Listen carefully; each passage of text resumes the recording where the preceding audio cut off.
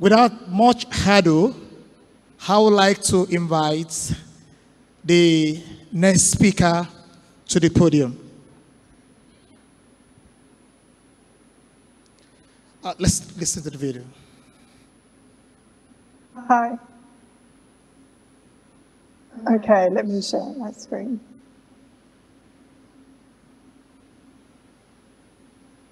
Hi, everybody.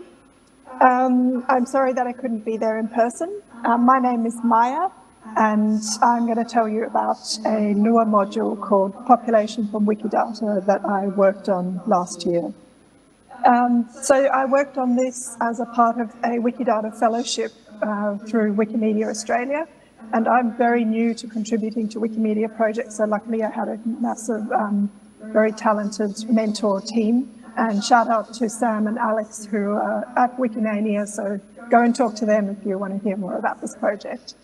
Um, they, we wrote a really good uh, blog post to summarize this whole project from start to finish, and of course, all the um, documentation is, is with the module. So go and check that out, and I'll put this, um, this presentation on Commons as well for you to grab those links. So, what was the challenge? Our challenge is that there are about 15,000 Australian place articles in English Wikipedia, and about 12,300 of those have population values in the info box.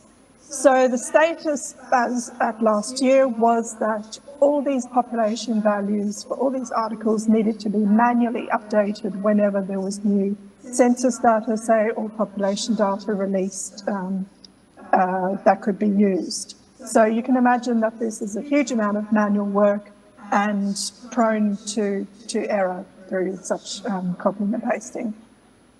So we figured that we could make use of Wikidata to semi-automate this process.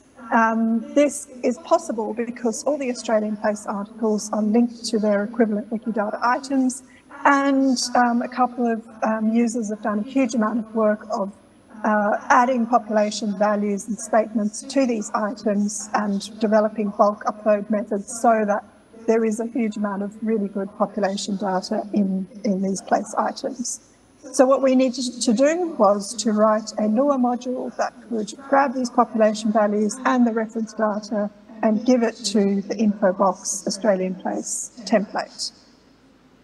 So most of the work that I was involved in was designing how are we going to choose which population value is the best one um, for any given article.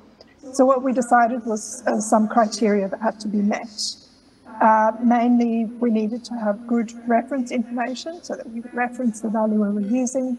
We needed to also check that the population value we were selecting had a geographic area that matched what was uh, what was being described in, in the Wikipedia article, because, for example, you don't want to use a suburb population value if you're describing a city.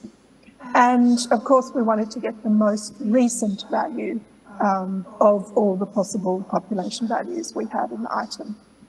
The module then crunches around these um, criteria against these rules and gives as an output the population value and the reference data that goes with it back to the info box template.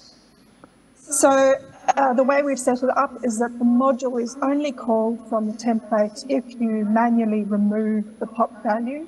Uh, this was so we didn't want to automatically override everybody's work and potentially cause a whole lot of um, mistakes and problems. So at the moment you have to go through and, and do this manually, but of course this is just a one-time thing because after that um, it will always draw the population value from Wikidata and you can always bulk upload. One minute left. Um, so it is a much more efficient and less error-prone method than the manual updating per each article. So it's been live for a year now. There's over 3,000 articles successfully using this module. Uh, we are keeping track of some of, um, you know, how, how many articles and um, what changes are happening. So I go and check out the graphs and the tables and things that are happening. Um, of course, there's a whole lot of documentation. And here are a couple of links to the module and to that blog post. And go and talk to Sam and Alex if you want to ask any more questions I love hearing about Wikifunctions project because maybe this sort of module could then be used in other contexts, in other Wikipedias, in other languages, in other countries, which would be great. Thanks, everybody. Thank you very much. That was an amazing